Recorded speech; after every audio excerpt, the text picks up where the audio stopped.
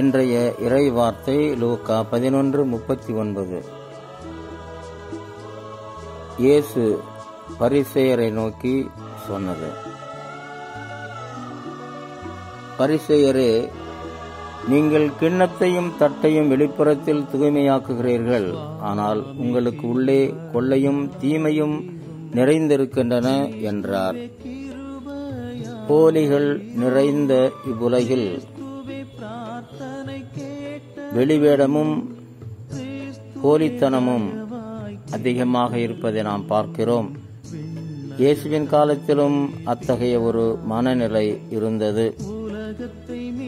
பரிசெயரின் பார்வை இயேசுவிடத்தில் எப்பொழுதும் குற்றம் காண்பது. ஆனால் இயேசுவோ இரக்கத்தின் மறுவுருவமாக கடவுளின் இரக்கம் எல்லாருக்கும் உரியது என்பதை அவர் வலியுறுத்தினார். கடவுளுக்கும் பிறருக்கும் நம்முடைய உள்ளத்தில் அன்பு எப்பொழுதும் ஊற்றெடுக்க வேண்டும் என்பதையும் அவர் வலியுறுத்தினார்.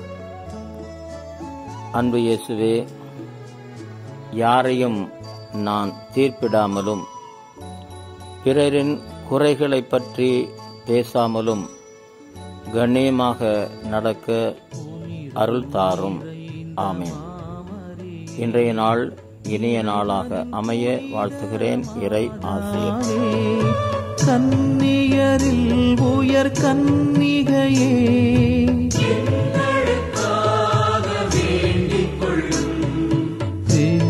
மாதாவே ஈன்ற மாதாவே.